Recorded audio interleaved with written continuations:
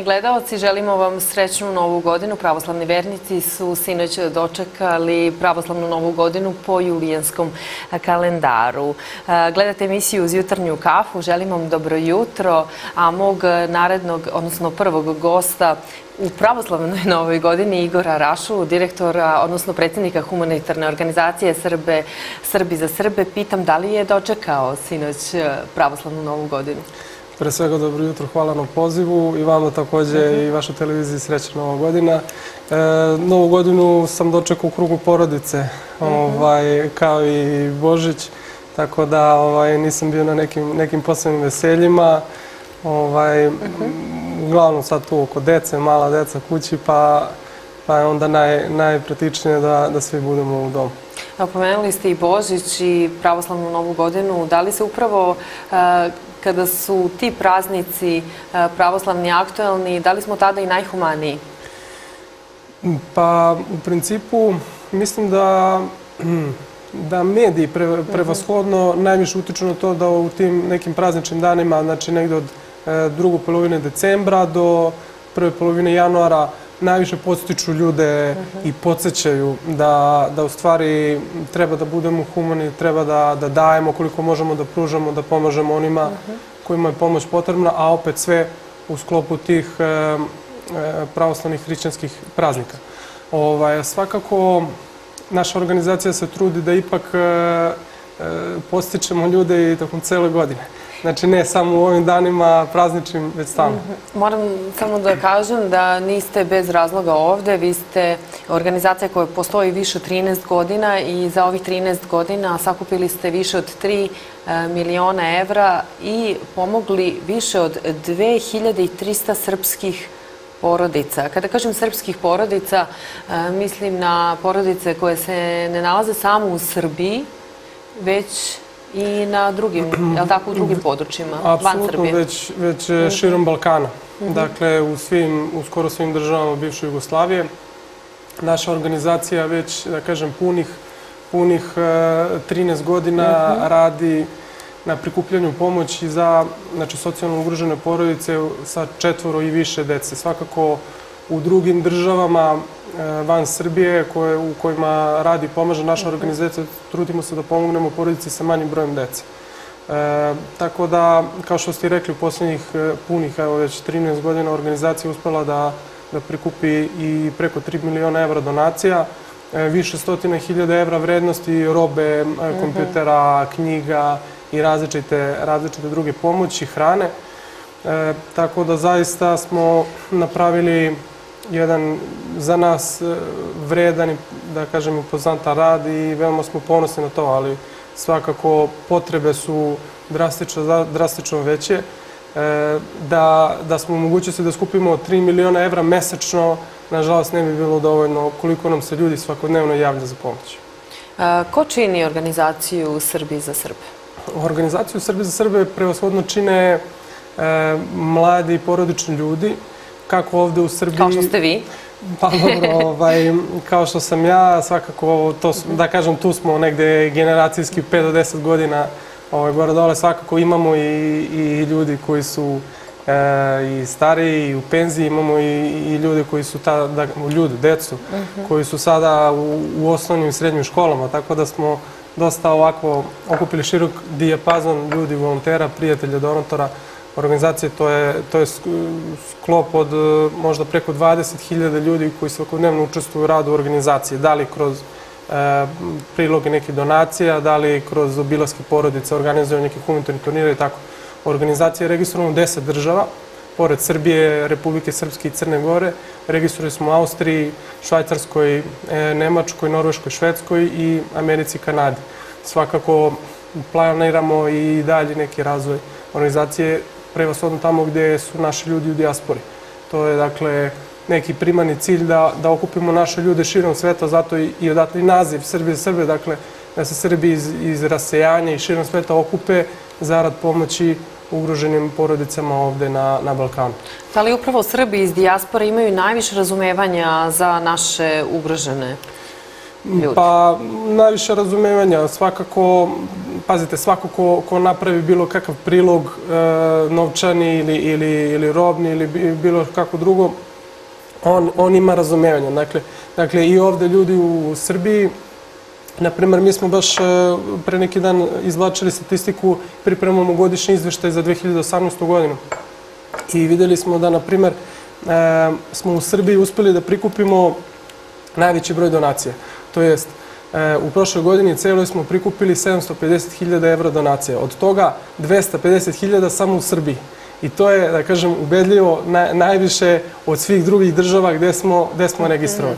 Tako da, e, apsolutno, apsolutno najveću podršku definitivno imamo iz dijaspore. Znači, e, taj budžet je sigurno negde preko 70% su obezbedili naši ljudi iz dijaspore, ali izuzetno veliku podršku imamo i, i u Srbiji, i Republici Srpskoj, pa, pa i u Crnoj Gori. Da li su firme prvenstveno te koje pomažu vašu organizaciju ili, ili se više izdvajaju pojedinci? Prvenstveno pojedinci. Prvenstveno pojedinci najviše, konkretno sad, ako pričamo ovde u Srbiji, putem e, SMS poruka na broj 7763, o, prošle godine smo imali preko 46.000 poslatih poruka, što je za nas e, jako, jako veliki broj. Svakako, e, ni- nisu to 46.000 različitih ljudi, svakako neko je poslao i po, po više poruka, ali e, imamo svakako i veliki broj firmi koji učestvuju u radu organizacije, prevashodno kroz turnir Trojka iz bloka koji organizujemo. To je znači, sportsko-humanitarni turnir u brzom šutiranju trojki, gde okupljamo upravo i pojedince da učestvuju na samim događajima, ali i firme da sa nekim malim banerom, sa nekom malom reklamom budu sponzori i time se priključe našem radu. Igore, kome najviše pomažete? Da li su to porodice koje imaju, kao što ste rekli, četvoro i više dece i žive u teškim uslovima? Dakle, da li su to, možemo slobodno reći, mlađi ljudi ili, ili da li pomažete isključivo ljude sa decom, višečlane porodice?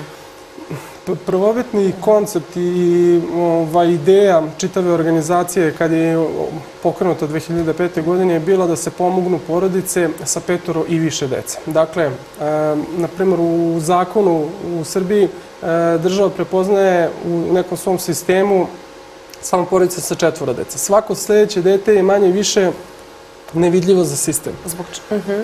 Tako je, tako je, Tako je, re- jasno. zakon predvideo, a oni, su se, oni se pozivaju na, na neke konvencije Ujedinjene nacije i tako dalje.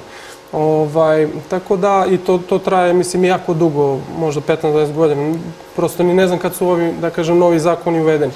Ali e, to je bila p- prvobitna ideja, dakle, da se pomognu porodice koji su ipak žele da, da izađu malo iz tog, da kažem, sistema do samo, na primjer, tr- trećeg ili četvrtog deteta, znači da se one ohrabre, da se pomognu ekonomski, da se pomognu e, da mogu da rade, da mogu da privređuju, znači uglavnom su to porodice na selu, znači da, da im se pomogne u vidu nabavke poljoprivrednih mašina, stoke, plastenika, dakle ako je potrebno da im se kuće obnove, poprave, dograde i tako da. Znači u tom nekom e, aspektu je organizacija pokrenuta i to je ideja. Mi smo zahvaljujući, kao što sam rekao, velikom broju ljudi koji nas svakodnevno podržava i, i ovaj, pomaže, uspeli te kriterijume malo da snizimo. Tako da, da kažem, sad je to sa četvoro i više dece ili a, ako je samohrani roditelj sa troje dece u ovim e, krajevima, u Krajini, na Kosovo i Metohiji, u Federaciji Bosne i Hercegovine, tu se trudimo da možda imamo još neke manje kriterijume, dakle da su sa porodice samo sa, sa maloletnom decom. Ovaj, I eto, uspevamo, uspevamo da, da pomognemo, da kažem, sve više porodica. U prošloj godini je to bilo 215, ovaj, što, je, što je, da kažem, najviše u, u jednoj godini, ako izuzmemo one tragične poplave 2014. godine.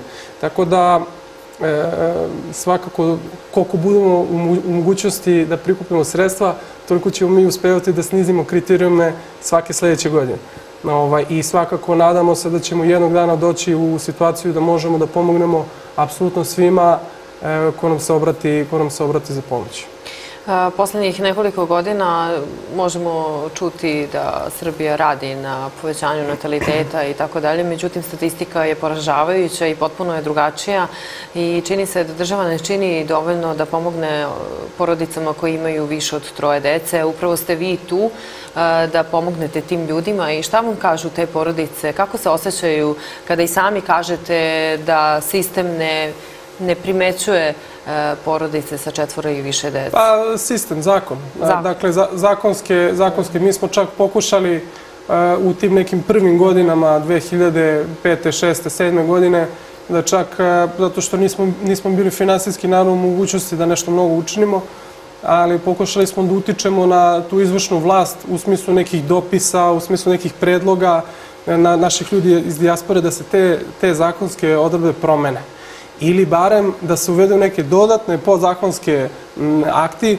koji će prosto tim porodicama koji imaju četvoro više dece naći neki način da, da pomogne. Da deca mogu da, da idu u vrteć, da mogu da dobiju hranu u školi, da mogu da dobiju besplatan prevoz. Znači, to su neke, da kažem, sitnice ili, ili potrebe lečenja, oporavka i tako dalje. To su neke sitnice gde, gde što mi primećujemo u tim višečlanim porodicama da prosto tu nedostaje, da kažem, država, državna pomoć ili, ili briga. Svakako da centri za socijalni rad rade, pomažu, e, nekad ne rade kako treba, nekad, nekad okay. E, ima problema, naravno, mislim, kao, kao u životu ništa nigde nije idealno. Ovaj, tako da, u principu, e, mi evo, trudimo se da uvek kad god negde možemo da apelujemo, da ipak država iznađe način da i, i pored tih zakonskih ograničenja do četvr više dece ipak nađe način. Naša organizacija jeste tu, postojimo, ima još nekoliko drugih organizacija koje takođe rade, pomažu i više detnim porodicama i sa manje brojem dece i tako dalje, ali sve to nije dovoljno. Pazite, mi smo jed, jed, samo jedna kap u moru, ma ni kap, pola kapi u moru, u okeanu pomoći, potrebne pomoći. Tako da mi prosto nije realno da možemo da stignemo svuda, da pa čak ni, ni samo da kažem porodice sa četvore više dece. Ovaj, a javljaju nam se porodice i sa jednim i sa dvoje dece koje zaista, zaista žive teško, u ronulim kućama, bez prozora, bez, bez vrata, bez kreveta, mislim, ka, katastrofalne priče, gde mi prosto fizički Kako su to priče? Kako su da, došli? Da Kako su ljudi došli do, nažalost, takve situacije? Pa kako su došli, to je sad priča za sebe. Svaka mm. porodica je priča za sebe. Ovaj, I dosta su to i teške priče i tragične, ali... Kako, ali zašto kako ih nema? Zašto ne čujemo? Evo ja imam utisak kao da vi sad nama ovde otvarate oči i da mi generalno znamo da se teško živi u Srbiji, ali vi sada kažete da ste vi tek kap u moru, a pomogli ste više od 3000 porodica. 2300. 2000 porodica, da. Pa, u principu, uh mhm. -huh Znate kako, ovaj, to je možda malo malo kompleksno. Kompleksni pitanje, objasnite nam, pa da. Pa, generalno mediji e, su, da kažem, prva linija. E, koja, koja treba da se bavi izveštavanjem o životima tih ljudi. I mediji to rade. Ovaj, apsolutno, apsolutno stoji ta činjenica. Velika većina medija se trudi da bude društveno odgovorna, da da ističe priča tih ljudi, porodica i dece. Međutim, opet kažem, toliko ima tih teških priča da ni mediji ne, nije realno da mogu da postignu da svima izveštavaju. Razumete? E, mi se trudimo, ja lično i članovi moje organizacije, da upravo kroz medije pratimo na, da kažem, rubrikama društvo i tako dalje, da pratimo izveštaje medije, znači da čitamo, da, da se informišemo. Znači, mediji su ti od kojih mi, da kažem, prikupljamo većinu informacija. Svakako imamo i sad društvene mreže gde nam se ljudi direktno javljaju ili, ili putem sajta našeg mm -hmm. ili mhm. e-maila ili telefona. Ali svakako mediji su ti koji mogu da takođe kao i mi posete porodicu, da naprave prilog, da naprave portažu, da popričaju sa tim ljudima i da njihovu priču na najbolji ili najrealniji način predstave. E, sad, pitanje je zašto to možda mediji ne rade više? E, vi danas fu funkcionišete u 21. veku gde svaki medij živi od reklame, je li tako? Znači, mora da postoji neki prostor za reklamu ili za neku emisiju i tako dalje i prosto nije realno da se neki medij potpuno posveti tome. A, a verujte da je potrebno jedno 30 medija da se svakodnevno posveti tome da bismo stigli da, da ispričamo sve te tužne i teške priče. Toliko, toliko ih ima. Tako da, ovaj, svakako kaže, mediji rade, trude se, svako, da kažem, u nekom svom domenu, ali prosto to toliko toga ima da nije realno da možemo sve priče da ispričamo. I sad mi idemo od kuće do kuće, obilazimo ljude i sad kao i mi mediji, kao i mediji i mi pravimo te izveštaje i onda putem našeg sajta, putem društvenih mreža, putem e, različitih vidova informisanja, pa i ovako gostovanje u, u nekim televizijama ili novinama, pričamo o tim ljudima, o tim porodicama, njihove priče iznosimo, e, pokušavamo da ljude, da ljude motivišemo da se uključe, da postanu donatori i da na taj način ih najkonkretnije moguće pomogne. Za koga trenutno sakupljate novac? E, trenutno naša organizacija e, privodi kraju pripreme te velike božiće akcije. Dakle, u, u sklopu svakog božića i, i svakog vaskrsa svake godine e, organizujemo velike akcije pomoći na Kosovo i Metohiji u Krajini. Ove godine planiramo pomoć za preko 50 porodica i u principu mi smo već krenuli da, da prikupljamo sredstva negde sredinom decembra i plan je negde da se do, do, do kraja januara, dakle negde oko, oko dana Svetog Save, e, realizuju te akcije pomoći i da, da odemo u posetu porodicama, napravimo izveštaje, fotografije, pošto, pošto se trudimo da apsolutno e, svaku porodicu koju pomognemo, da napravimo izveštaj, dakle, e, da slikamo šta smo kupili, da prikažemo naravno porodicu, gde živi, kako živi e, i da za svu pomoć koju smo obezbedili porodicama skeniramo, prikažemo račune javno. Znači, ne postoji mogućnost da, da se bilo koji dinar negde e, prikaže a da nije potrošen ili da je uvećan i tako dalje. Znači, za, za svaku pomoć porodici na našem sajtu mogu se naći detaljni finansijski izveštaj i e, najprostije skenirani računi. Dakle, ako smo kupili belu tehniku, vi morate vidjeti račun gde je u kojoj radnji kupljeno. Ako je kupljen građevinski materijal ili bilo koja druga stvar, mora postojati račun Za ili koliko, trag. za koliko porodica sakupljate novac konkretno? Konkretno e, na Kosovo i Metohiji biće pomognuto oko 30 porodica, a u krajini oko 20-22 porodice. Tako da je to za sad primarno... Da li su se te porodice vama javile? Te porodice se javljaju e, i nama, ali se javljaju konkretno na Kosovo i Metohiji narodnim kuhinjama, prevashodno Majka Devet Jugovića iz Gračanice, koja vodi i brine o radu narodnih kuhinja na Kosovo i Metohiji već skoro, skoro 20 godina. I, I u saradnji sa njima mi već pomažemo jako, jako dugo. Tako da su oni neki, da kažem, centar gde se ljudi, i gde oni i obilaze porodice svakako zbog dostave hrane, ali i se, ljudi se njima javljaju direktno. Tako da mi onda u saradnji sa njima dogovaramo koje će se porodice pomoći kako i na koji način.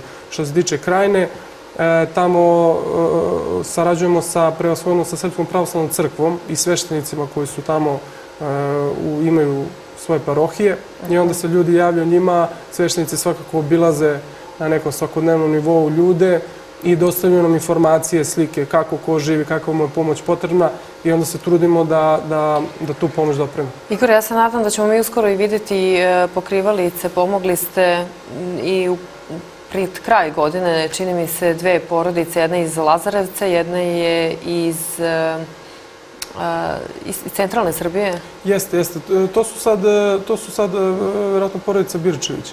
A i, I Raković. Jedna je kod, jedna je kod Lazarevca, jedna je u Aranđelovcu. Iz Aranđelca, jeste Ovaj, to, su, to sad objavljujemo na našem sajtu izveštaj sve akcije koje smo završili krajem 2018. godine, pošto ih je bilo jako više, pa sada ovaj, trudimo se da, da sve to prikažemo što je premoguće.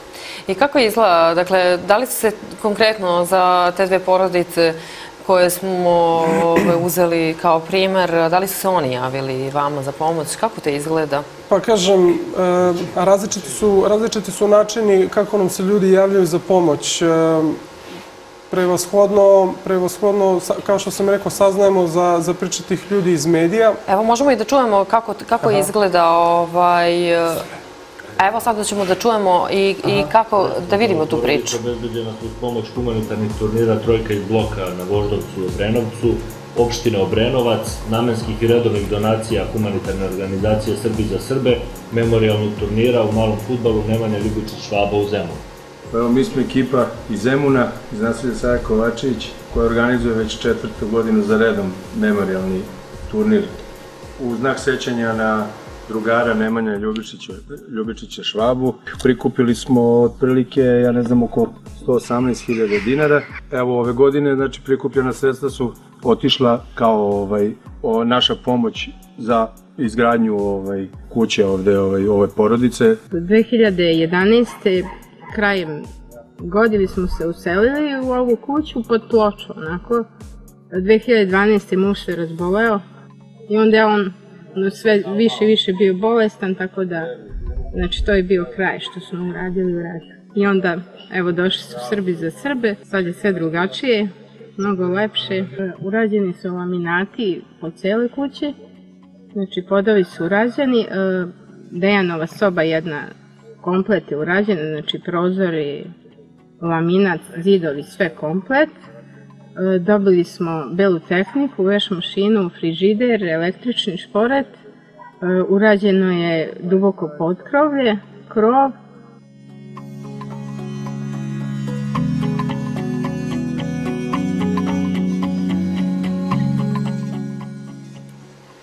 Igor, evo videli smo delić jedne priče, delić jedno, odnosno delić onoga što činite svakodnevno, a opet mnogo znači ovim ljudima, zar ne? Apsolutno. Evo ova majka, sad u ovom videu što smo videli, počela da nabraja kad su se oselili, kako mm -hmm. tako. Međutim, nije, na primjer, rekla da se muž upokojio jako brzo nakon što su, nakon što su počeli da grade kuću. Znači, ostalo je, ostala je sama sa troje dece, e, čak i bez posla u, u nekom trenutku. Tako da, je, tako da je bilo jako teško uopšte da, da, da prežive. Mi smo, mi smo ovaj, opet tu priču dobili, ja mislim, da li od njih direktno ili, ili mislim čak od komšija. Uh -huh. Znači, ove porodice iz sela kod Obrenovca. Ovaj, komšije su javile za njih, poslali nam sliku kako žive. Znači, to je bila jedna kuća sa iskošenim krovom, znači bez ploče, prokišnjavalo, jako teško. Svi su bili u jednoj sobi i tako.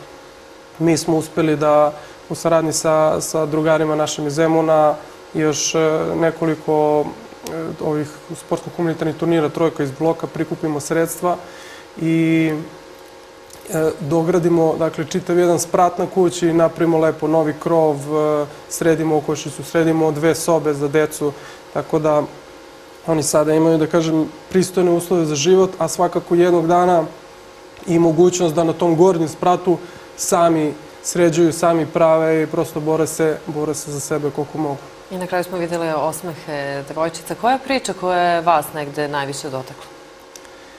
Pa pazite, ima ovaj, mnogo priča, 2300 različitih priča. Ovaj, ja svakako nisam obišao sve porodice, nisam bio kod svih. Ovaj, ja, mene, na mene je, da kažem, uticalo naj, naj onako emotivnije neke, neke priče sa Kosova i Metohije.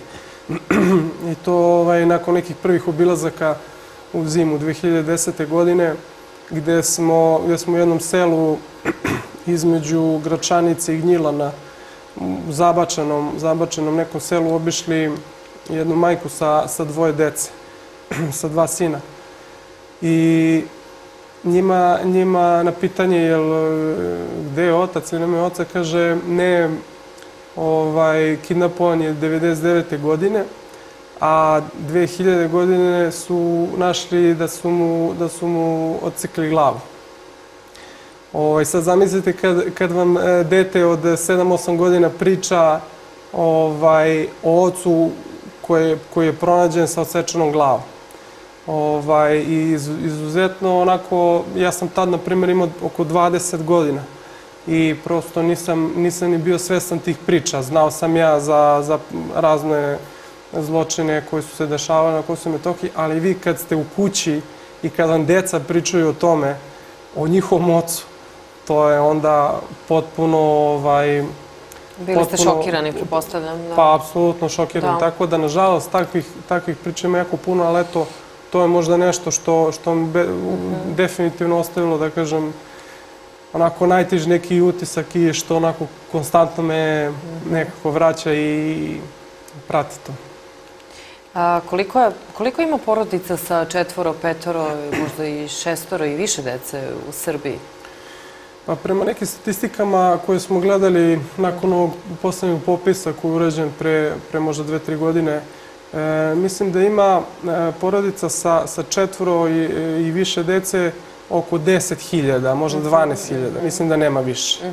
ovaj, dakle, to su sve porodice, ne samo, ne samo srpske, znači sve porodice, tako da nije to, nije to neki veliki broj.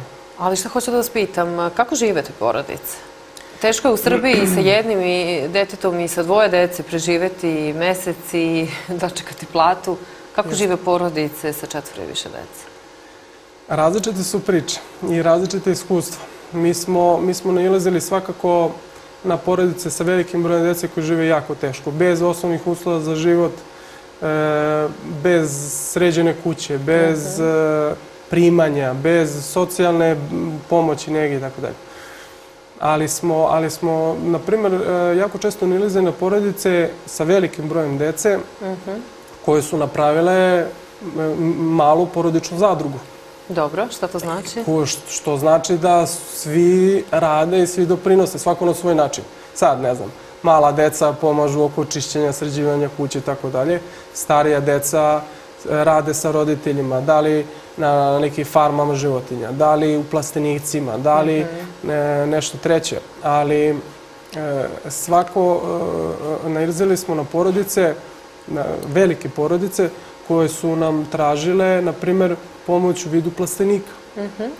Dajte nam mogućnost da radimo, imamo mogućnost za izvoz, za prodaju, za ovaj, preradu, preradu, na primer, jedna porodica kod Jagodine, tražila je plastenik, oni rade sa paradajzom, kuvaju paradajz, prodaju ga, imaju tržište, treba im plastenik. Znači, i mi smo, mi smo prosto ljudima omogućili da rade i da sami zarađuju i prosto deca su već automatski, e, u, da kažem, u poslu ili uče, uče posao I ostaju u porodici, ostaju, tu gde ostaju jesu. tu gde jesu i već mogu, mogu da rade i mogu da privređuju i mogu da uče, da kažem, neki, neki ovaj, pošten zanat i pošten posao. Igore, hajde, ako se slažete, da pogledamo i sledeću priču, da vidimo kako to izgleda kada humanitarna organizacija Srbi za Srbe pa uzme stvar u svoje ruke i pomogne nekoj od porodice. Predstavnici humanitarne organizacije Srbi za Srbe posjetili su u martu porodicu Stojanović iz sela Bosce. Naišli smo na katastrofalne uslove u kojima odrasta čak sedam čerki. Slobodno se može reći da je u pitanju jedna od najsiromašnijih porodica na Kosovu i Metohiji. Upravo oni su u junu bili meta pljačkaša koji su im ukrali tri krave koje su predstavljale izvor njihove egzistencije. Odlučili smo se u tim danima da alarmiramo javnost kako bismo skrenuli pažnju na problem učestali krađa u tim krajevima, ali i da bismo prikupili neophodnu pomoć za Stojanovića.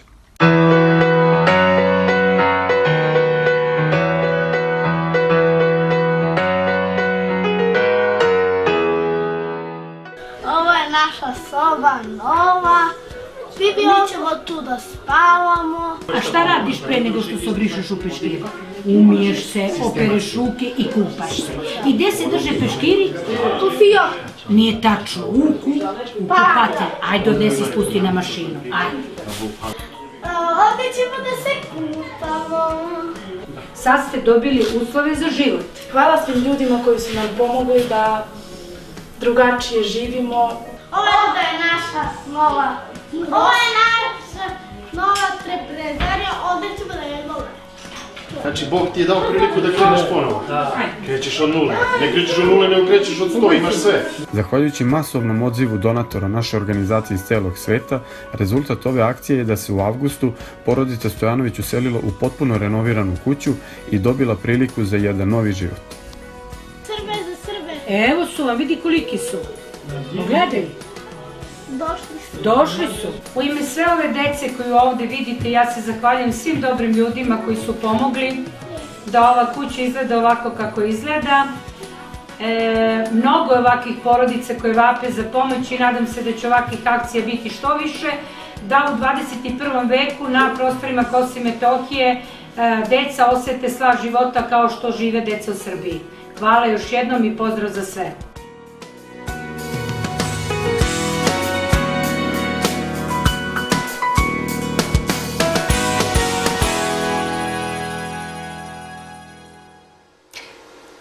Videli smo još jednu priču. E, Igore, zaista je lepo videti kada na kraju dečica, na kraju videa dečica mašu, srećna su i zadovoljna. I baš mi je drago što smo videli i jedan primer vaše pomoći i sa Kosova i Metohije i jedan iz Srbije, a to je da zapravo je teško izabrati e, prioritete. Kako sada kada vam se jave porodice i sa Kosova ili iz, i sami kažete iz Bosne ili iz Srbije, kako odabrati prioritet? Kome pre pomoći? Mm, jako teško. Mi se trudimo, pazite, na primjer, mi trenutno imamo više od 600 porodica koje su nas se prijavile za pomoć u ovoj prethodnih godinu, dve dana. Dakle, su za poslednjih godinu dana 600 porodica čeka da im neke, pomognete? Neke poslednjih dve godine, uh -huh. preko 600 porodica se prijavilo samo za, za pomoć da ih posetimo. Prvo, zato što je to neka, neka procedura našeg rada, da prvo po, porodice posetimo, pa tek onda idemo u akcije pomoći. A koliko, recimo, na godišnjem nivou otprilike možete pomoći? Evo, prošle godine smo, na primjer, 215. To je rekordno, rekordno bilo godina. Pre toga je bilo 160, pa godina pre toga isto 160, pre toga 120 i tako. Znači, postepeno, postepeno rastemo zato što uspevamo da svake godine prikupimo sve više donacija. I kakvi su zahtevi porodice? Različiti, različiti. Naveo sam ovo primer da, da imamo porodice koje potrebno im je sredstva za rad. Mi smo ove godine, pardon, prošle godine, ovaj, obezbedili i u godinama unazad veliki broj traktora, veliki broj poljoprivrednih e, priključaka mašina, uh -huh. e, nekoliko plastenika, uh -huh. e, izgradili i dogradili nekoliko štala, kupili semensku robu, Dakle, obezbedili ljudima, pošto su, kao što sam rekao, uglavnom na selu, da se bave poljoprivredom. Jer to je ono od čega oni žive i to je ono od čega oni hrane svoje decu. A sad, pored takvih zahteva, veliki broj, veliki broj porodica traže pomoć u vidu kuća. U vidu e, ili potpune dogradnje rekonstrukcije ili, po, ili izgradnje nove kuće. I to su ubedljivo najveći i najzahtevniji projekti. Mi takvih projekata uradimo nekoliko u toku godine. A sigurno ima možda 200 ili 250 zahteva za kuća, za kućama veliki broj porodica žive kao podstanari, ne, ni nemaju svoje kuće, neki imaju, pa su im u ruševinama jako u teškom situaciju, kao što smo videli sad u ovom priliku, prilogu, porodica Stojanović je živela u kući koja je stara 50-60 godina, ali nije održavana, jer nisu ni imali sredstva ni mogućnosti. I, i ovaj, takvih, takvih zahteva i porodica je mnogo. Baš kao što smo i rekli ovaj, na početku, da, da uspevamo da na, nekim čudom prikupimo i, i milione evra na mesečnom nivou, ne bismo stigli svuda i svima da pomognemo, nažalost. A, možete slobodno da izdvojite nekoga ko vas je najviše pomogao? Pa u principu Ili su građani ti koji najviše pomožu? E, ne, bi, ne, ne, bih, ne bih se izdvojio nikog, nikog posebno ovaj, i svakako i taj, imamo svakako jednog, jednog donatora koji je, ovaj, da kažem, u finansijskom smislu najviše pomogao, ali on prvi ne bi volao niti nešto pričam o njemu, niti da, da se zna, niti on ovde u Srbiji. Ali svakako, e, ipak, ipak je, je ono što smo mi najviše zadovoljni jeste da ta naša ideja, e, tačnije ideja osnivača organizacije, da Srbi i širom sveta, pa i ovde u Srbiji, mogu da se okupe oko nekog ili barem jednog cilja zajedničkog, a to je da svoje deci obezbedimo, e, kao što je rekla Svetlana Stević iz e, organizacije Majka Devet Jugovića, te pristojne i osnovne uslove za život naše dece u 21. veku. E sad, videli smo u videu koji je malo pre bio da ste vi svi mladi. Većina. Većina. Da. U ovom e, trenutnom, da kažem, eto, kako je stanje sada, odakle to da se tako mladi bavite humanitarnim radom? I da li organizaciju Srbi za Srbe uglavnom čine mlade ljudi, mladi ljudi? Uglavnom čine mlade ljudi. E, velika većina naših volontera su, da kažem, ili e, srednjoškolci ili su na fakultetima. Dok e, uglavnom ljudi koji su u dijaspori su, da kažem, možda malo, malo stariji roditelji ili, ili su ovaj, u tom nekom periodu 50-60 godina. Ali, ali svakako Sad, zašto se mladi ljudi uključuju u humanitarni rad, to biste morali da pitate sad svakog pojedinačno našeg, našeg člana. Ali, Ali da li, svakako da li imate problem da ih motivišete da se, da se vama priključe ili ne? Ili se oni sami dobrovoljno javljaju? Različiti su načini kako se ljudi uključuju. E, veliku pomoć smo, smo dobili razvijanjem ovih društvenih mreža u poslednjih 5-6 godina. Zato što veliki broj mladih ljudi su svakodnevno na telefonima, prate, čitaju vesti, čitaju šta se radi. I sad, e, kroz organizaciju, na primer, e, ovih e, turnira Trojka iz bloka, uspeli smo da privučemo tu veliki broj ljudi da dođu na turnire, da malo učestvuju sportski, da bacaju trojke, ali i da se druže s nama, da vide, da vide u stvari ko su Srbe, Srbe, šta mi radimo i tako dalje. Ali kako ste se vi priključili organizaciji? Pomenuli ste malo pre da ste imali 20 godina kada ste čuli Da. onu zaista Da. stravičnu priču sa Kosova i Metohije. E, sa koliko godina ste pristupili organizaciji? Ja sam se uključio, ja sam se uključio rad sa 19 godina, dok sam, dok sam boravio na studijama u Americi. Ovaj, tamo sam završio srednju školu i fakultet i boravići na studijama video sam za rad organizacije, za postojanje organizacije. Od starta sam, da kažem, učestvovao kao donator, a nakon nekih godinu, godinu i po dana sam se malo više i, i uključio konkretnije.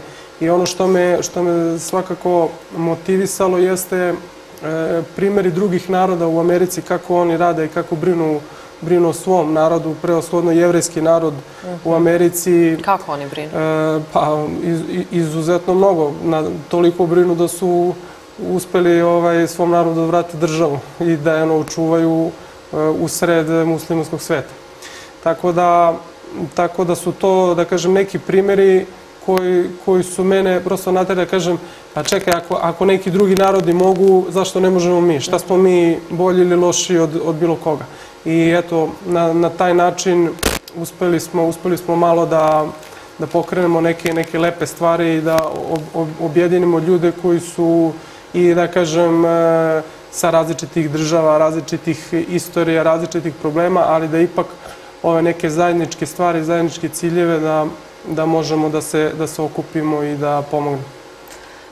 Jako mi je drago da ste nam gosti s obzirom na to da često možemo čuti da su nam mladi ovakvi ili onakvi i da smo nezadovoljni situacijom u zemlji da naše mlade interesuje samo sedanje po kafićima, da ne rade ništa i tako dalje. Znamo već svi ovaj, tu priču, međutim da i tekako ima dobrih mladih ljudi, svakako je vaša organizacija jedan, eh, jedan od dokaza za to. Eh, moram da pitam da li kao mladi svestrani ljudi koji takođe imate i porodice, da li pratite eh, dešavanje u zemlji, da li pratite medije, da li čitate novine? A, Apsolutno, pa već sam rekao da e, prva, da kažem, neka linija našeg informisanja su upravo mediji e, i, i priče o porodicama koji žive teško, koji su socijalno ugroženi, tako da svakako moramo pratiti, moramo pratiti medije izveštavanja i generalno život e, danas u, oko nas, šta se dešava, to je sve normalno. Evo ja ću pročitati samo neke od naslova danas. E, Igor Jurić u uspehu akcije za uvođenje doživotnog zatvora. Borba nije bila uzaludna, ubice dece dobiće zasluženu kaznu. E, skandalozan tweet lidera e, navodno je sramno napao Milenu Ivanović. Da podsjetimo da je 16. god- godišnjica ubistva Olivera Ivanovića. To je, u, to je naslovna strana Blica. U danas su četiri strane o građanskim protestima. Naširoko list danas piše o protestima koji su se dešavali u Beogradu u subotu. Đoković, svi čekamo na sedmu e, titulu. Boško Bradović, vlast želi da zloupotrebi e, Putina apropo dolaska ruskog predsjednika. Koji od ovih naslova bi vas možda zainteresovao da ga pročitate? Pa, Pre generalno... svega, možda po, po, po rednim brojevima. Pa, generalno, ovaj, svakako naj, najzanimljiviji da kažem, naslov je, je ovaj, oko, oko doživotne kazne e, ubicama dece, što je svakako razumljivo i da kažem pozdravljamo sve te stvari i prosto to je, to je svakako trebalo mnogo ranije i Ali dugo se čekalo na uvođenje. Predugo, predugo. Ja ne znam zašto, zašto nije to urađeno pre 20, 30, 50 godina, jer prosto svako ko, ko oduzme život bilo kome, prosto ne samo detetu, ovaj, zaslužuje maksimalnu i drakonsku kaznu. Specijalni sud za zločine na Kosovu kreće na velike ribe, Veselji pozvao u Hag, Tači izabrao advokata. Da li mislite da će e, biti i tu zadovoljena pravda? Kakav je vaš stav? Koliko ne. mladi prate ovakve, si- o, o- ove stvari i da li nas je e, priča o ovome možda negde izmorila, umorila ili ne? Ili mislite da... Pa sad kako koga je izmorila, ali ovaj, svakako da pratimo, to je prosto mediji prevashodno o tim stvarima izveštavaju i pišu. Ovaj, da li će biti pravde o, ovo zemaljske, verovatno da neće, da sad ne ulazimo u detalje kako funkcioniše sud u Hagu i mislim kakve su presude bile, ali ovaj, za, za naš narod, ali prevashodno konkretno za ove porodice o kojima sam vam govorio. Mislim da, da oni za, zasigurno nikad neće doživjeti tu neku, tu neku pravdu i evo konkretno porodica koju sam spomenuo, mislim da nikad neće saznati ovaj, kojim, je, kojim je ubio oca, oteo i odrubio glavu. Ovaj, tako da, kakve god da se, na primjer, i presude sad donesu, ta deca su i dalje bez oca. I ostaće ceo život. I ta majka je bez muža. I ta baka je bez sina koja je sa njima u kući. Tako da, kako, kakva god da bude, možda će biti ovako onako pravda, ali sve je to već, da kažem, kasno. A, Da li, odnosno, da li mislite da će biti u neko skorije vreme otkriven e, ubica Olivera Ivanovića? Kakav je vaš stav povodom toga? Vi ste Pa, konkretno u ovaj, Meni je, meni, je, meni je jako žao što se to desilo, mislim, to je katastrofa. E, to je, nažalost, samo još jedan u nizu e, užasnih e, stvari koje se, koje se dese na Kosovo i Metohiji. Nažalost, tamo ubistva se dešavaju gotovo svakodnevno. Ovaj, tako da, izuzetno, izuzetno tragičan slučaj.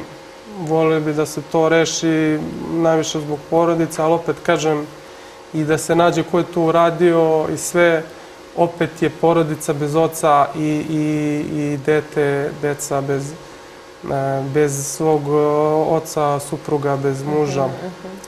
Katastrofa. Ne znam šta da kažem. Evo, u Blic piše, samohrani otac sa šestoro dece dobio kuću zahvaljujući pros- proslavljenom NBA košarkašu. E, Mirotić je veliki čovek, e, porodica Vagra iz Borova na istoku Varga. Hrvatske sa nestrpljenjem čeka novu kuću koju će im pokloniti Nikola Mirotić, španski košarkaš rođen u Crnoj Gori i člana NBA ekipe New Orleans Pelicans. Evo ima i ovakvih zaista e, primjera gde naši sportisti zaista e, kako bih rekla, zaista svedušno pomažu e, naše ljude koji teško živi. I ovo nije usamljeni slučaj, često možemo pročitati u novinama. Međutim, kako bih rekla, da li moramo čekati na njih da nam, da nam pomognu oko bolesne dece i Pa evo sad kon- konkretno oko ovog članka da pročitate još malo, doći ćete do, do dela gde akciju sp- sprovode u saradnji sa našom organizacijom. Kada su mi iz organizacije Srbi za Srbe rekli kakve su namere košarkaša Mirotića, nisam mogao da verujem. Prvo sam mislio da se šale, imati normalan, lep dom, nama je san, nadam se da će se ostvariti. Jest. Ovaj, Nikola Mirotić je naš Mhm. eh, veliki brat i prijatelj, tako da već dugo godina pomaže. Ovaj, on je, on je eh, nam se javio sa željom da početkom ovog Božićnog posta pokrene akciju da u narednih 20 utakmica koje će imati tokom posta e, za svaku ubačenu trojku donira 500 evra. E, I svi mediji su preneli informaciju što je bilo jako lepo, međutim e, on se jako brzo povredio posle treće utakmice i nije mogao, nije mogao da učestvuje. Ali nam se javio pre neki dan i rekao e, žao mi je što nisam mogao da odigram sve, da ubacim, ali ću obezbediti sva potrebna sredstva da se porodici Varga, oni žive kod e, да им се купи нова куќа, пошто сада живеу неки две просторије mm -hmm. без прозора и без врата. Zaista lep gest, ali evo Blic piše e, o jednom slučaju u Padinskoj skeli. Izgorela im kuća, ali nisu zaboravljene. Olivera Jovanović, učiteljica iz Padinske skele, u požaru koji je buknuo drugog dana nove godine, ostala je bez porodične kuće, ali je onda u pomoć priskočilo čitavo nasilje. Eto, ima solidarnosti među našim ljudima. Čini se baš u ovim e, eto, prazničnim danima da imamo nekako više sluha za one koji teško žive. Svakako da, da imamo. I ovakvih primjera je sve više, gde su se ljudi upravo, i to je, da kažem, i neki naš cilj, naše organizacije, da se ljudi na tom lokalnom nivou, dakle, ako je na selu, u, na selu ili selskog okruga ili opština, organizuju, okupe, jer e, potpuno je suludo da sad neka organizacija prelazi 200-300 km da bi nekoj porodici na selu obezbedila, ne znam, hranu ili, ili neke stvari. A ljudi žive na selu, znači tu ima drugih porodica koji mogu da im pomognu. Svako pomalo, svako nešto da učini, već smo napravili veliku stvar i veliku pomoć. Tako da ovakvih priča, ali i, i, i vi mediji, što više e, izveštavate o tome, više će biti lepših priča. Verujem da da, ali opet e, u Blicu neke narodne stranice su rezervisane za crnu hroniku. E, imamo ispovest e, 21-godišnje devojke koja je e, ubijeno, e, odnosno čiji je momak ubijen na Adi Huji. Evo imamo e, slučajeve gde su svi oni imaju po 21, 2, 3, 7 godina i tako dalje, gde se ubijaju zbog e, prekog pogleda i tako dalje. Kakav je vaš stav e, ovaj, po tom pitanju. Da li mislite da ima previše nasilja e, danas i kako, kako motivisati sada nekog, e, neke mlade ljude da se možda priključe vama i da se vrate na neki dobar put? Pa mislim, previše nasilja ima već poslednjih 30 godina od kad su krenuli svi ovi nesreći ratovi oko nas i, i ovaj, to vreme nekako nikako, nikako ni da stane. Ovaj, evo to sad, to su ljudi, kao što ste rekli, od 20 godina koji nisu ni bili rođeni kad su krenuli uopšte svi ovi problemi i sankcije, ovaj, beda, da kažem, neka sveopšta. Ovaj, kako, kako to reči, rešiti, sprečiti, to iskreno mislim da ne, da ne zna niko da nam da odgovor. Mi bismo najviše voleli da, da se ljudi priklone, da li našoj organizaciji, da li bilo kojoj drugoj humanitarnoj, dobrotvornoj, da li kroz crkvu, da li kroz bilo koju drugu, da kažem, organizaciju ili kako god, samo da, da nisu na ulici, samo da, da se takve stvari više ne, ne, ne dešavaju, zato što eto baš u toj priči, mislim, Evo dva velika Imamo- naslova sledeća su, a to je da Živojinović i spremni za dolazak sina, 5000 evra za bebinu sobu, zatim sledeća stranica, mučili su me i zlostavljali dok sam bila prostitutka, ispovest Mine Vrbaški. Vaš komentar? ne, ne znam ko je iskreno ovaj, Kako vam zvuče ovi naslovi? Pa loše, mislim, katastrofa, Ali oni su mnogo veći, katastrofa. o, pa dobro, tu su, ali ovaj, sa Mirotićem, ali... ovaj, mhm. katastrofa, mislim, Kako toliko, moguće, se, da, toliko mhm. se i potencira na, na tim nekim lošim, negativnim vestima. Ja znam da ih ima, daleko od toga da ne treba o njima izveštavati i da ih je bilo i ranije i u neka, da kažem, nazovi srećene vre- vremena. Ali toliko po- potenciranje e, svakako nije, nije dobro. Ovaj, ako i ovom prilikom možemo da apelujemo, evo apelujemo na što manje tih naslova ili ako već moraju da budu tu, neka budu što manji. ovaj, a da ove lepi pozitivni naslovi da ipak budu što veće sa što većim fontom i masnim naslovima. Jeste, nadam se i ja. E, takođe, spektakularan a, dolazak Meta Dilona na Mokru goru, na Kuster, Kustendorf je sledeći od naslova i onda idemo na sport. Da li pratite sport? Pa da, ja sam se bavio sportom plivanjem 15 godina, bio sam i član e, reprezentacije juniorske jednom, tako da ovaj, pratim naravno koliko, koliko mogu, koliko stignem. E, Rukometaši, ako po one, za one koji prate rukomet, e, izgubili smo ovaj, e, prvu utakmicu, ali sada kaže moramo da pobedimo i Brazilci i Korejci ulazimo u u ljutu borbu i svi očekujemo od Đokovića sedmi e, trofej. Šta vi mislite o tome? Da li će uspeti? Kažu da je pun samopouzdanja, da je sve... Ma, želim mu punu sreću, mislim, on je stvarno sportska, ovaj, sportska legenda, tako da neko osvoji još 77. Nema šta, ne znam samo gde će sa svim tim trofejima, mora da, da pravi neki magacin da to sve drži. Čuvat ćemo mi svakako. I samo za kraj nam recite e, da li su sportisti ti koji najčešće sarađuju sa humanitarnom organizacijom Srbije za Srbe? Pa nisu samo sportisti. Nisu samo, ne kažem, Ovaj, ali... veliki broj muzičara, veliki broj glumaca, veliki broj ljudi iz medija, novinara. ovaj, ne bi se zaista volao da ističem ni jednu branšu, niti, niti bilo kog pojedinca. Svako, svako zaista učestvuje, doprinosi na svoj način. Pa evo konkretno i vi ste ovaj, pomogli rad naše organizacije tako što ste me danas pozvali i ugostili. Tako da i vaša televizija svakako već godinama ovaj, nas prati i podržava i, i, i poziva. Tako da evo ovom prilikom hvala vama još jednom. Ali svako, svako na neki svoj način doprinosi, treba da nađe način. Da li kroz našu organizaciju ili bilo koji, samo nek se čine dobra, dobra dela. Želim samo da nam kažete za koga konkretno sakupljate novac u ovom trenutku. E, U ovom trenutku, kažem, za e, č- 40-50 porodica u sklopu Božiće akcije. Nakon toga krećemo da posećujemo porodice, znači negde od e, polovine februara.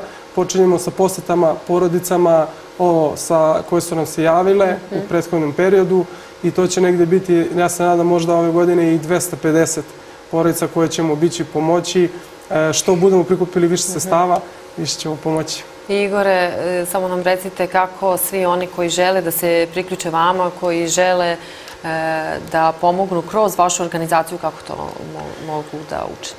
Najjednostavniji način slanjem SMS poruka na 7763, 100 dinara je jedna poruka, e, putem našeg sajta www.srbisrbe.org ili društvenih mreža, Facebook, Instagram, neka nam se jave ljudi, svako sa nekom idejom, predlogom, ko žele da, da volontira, da nam se e, priključi u bilosku porodica, apsolutno dobrodošao u organizaciju bilo kakvih događaja, da li trojka iz bloka, da li e, bacanje pikada, to je sad trenutno aktualno zato što je zimski period, da li stoni futbal, bilo kakav sport, rukomet, odbojka, znači sve je dobrodošlo, bilo koja ideja je dobrodošla, samo naravno da, da uskladimo sve, napravimo dogovor, zato što, kažem, mi smo samo jedan kap u moru, potrebne pomoći, potrebno je mnogo kapi da bismo uspeli da, da barem koliko toliko malo situaciju popravimo. Hajde kap po kap, pa se nadam da ćemo se uskoro videti sa nekim novim pričama gde će nam deca a, sa, iz ovih promotivnih videa zadovoljno i sa osmesima mahati. Igore, hvala vam mnogo što ste gostovali u emisiji Uz jutarnju kafu. Poštovani gledaoci, vidimo se nešto kasnije. Pogledat ćemo sada muzički spot, zatim slede vesti, a vidimo se opet kasnije u studiju.